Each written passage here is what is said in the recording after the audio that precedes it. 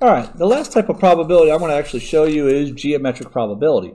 Geometric probability, it deals with area of shape. So because we haven't gone into um, how to find areas of polygons, we're just going to keep it pretty straightforward here. So I have a rectangle.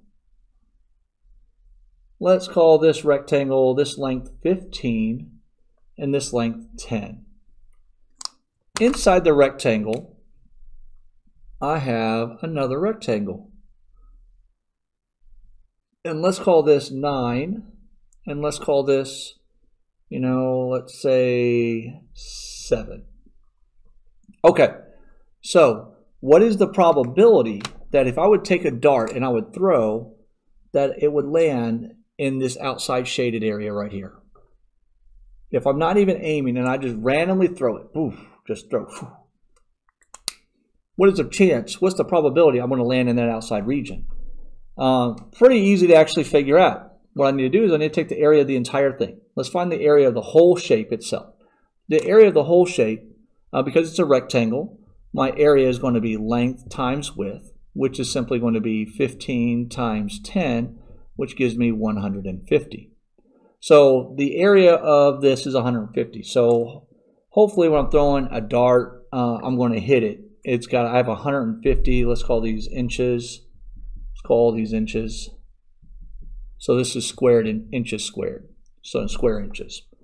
All right, next thing I need to figure out, what is the area of this other part in the middle here? So that part is still length times width, so 9 times 7, 9 times 7, which is going to give me 63 inches squared, because this is inch times inch, which gives me inches squared. All right, so, so far so good. I know the area of the big one. I know the area of the small one.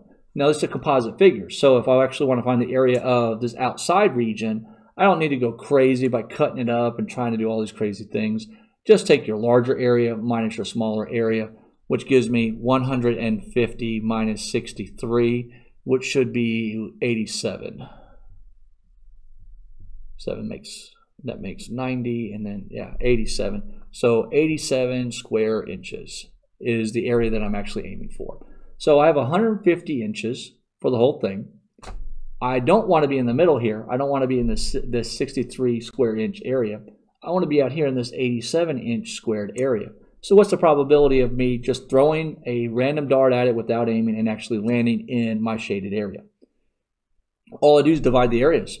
I want to do my 87 inches, inches squared, divided by my overall 150 inches squared, and you just go throw it in the calculator. And when you throw it in the calculator, we're going to get 0.58. So that means roughly, you know, to find the percent, just move your decimal two spots or multiply by 100. So 58% of the time, if I just throw a random dart, I'm going to land in this shaded area. Now, this is definitely not drawing the scale. The other way is if I wanted to find the area of this inside part right here. I don't actually have to do any more calculations because of that magic number of 1. The 100% of this, 150% is 100% of this. I don't have to calculate anything. If I know it's 0.58 or 58%, this other area, if I throw a dart in there, all I have to do is do 1 minus 0.58. This is called the complement of it, which is going to give me 0.42 or 42% of the time.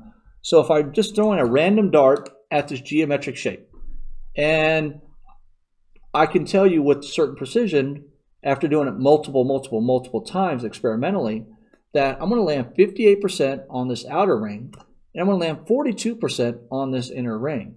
Now, of course, then you always have these other... Hi, I'm Mr. Buzzard, and I'm making these videos as supplemental instruction for my students. If you found these videos actually informative, uh, or they answer the question you're looking for, make sure you hit the like button, and then don't forget to subscribe, and then click the bell to receive notifications for future instructional math videos.